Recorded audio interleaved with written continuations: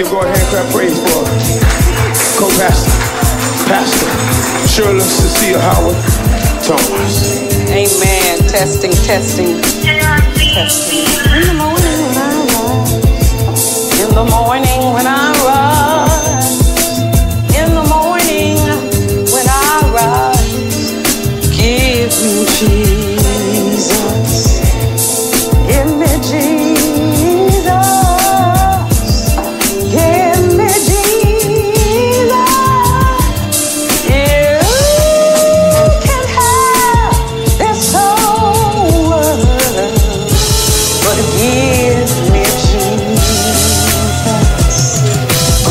Your name, Abba.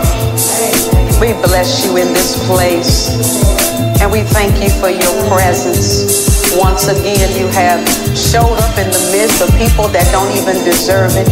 You showed up in the midst because of the blood of the Lamb and because of your faithfulness towards us. And so we bless your wonderful and your holy name on this day. Abba, I ask that all that you have shared with me during the course of this week, that you bring it forth for the sakes of these, your precious ones.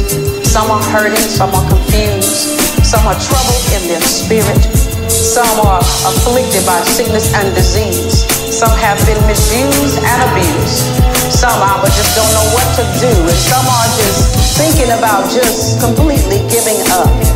Some are allowing uh, Abba, their situations and circumstances to alter their paths and to separate them from you.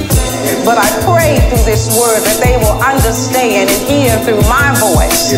They will hear your voice, who they are, and what has been made available to them by the blood of the Lamb. I thank you now that they would understand that even this spiritual warfare, they are fighting a foe that is already defeated. Assured them the victory. Now we ask for your spirit to take full control of this atmosphere. I now decrease as your servant vessel. And I pray, Abba, that they move beyond my face, that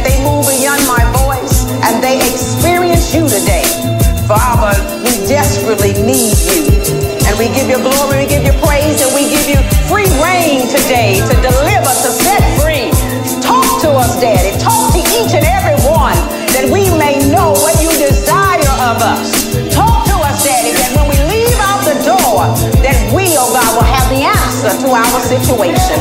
In the name of Yeshua HaMashiach, we thank you now. Amen and amen. Glory.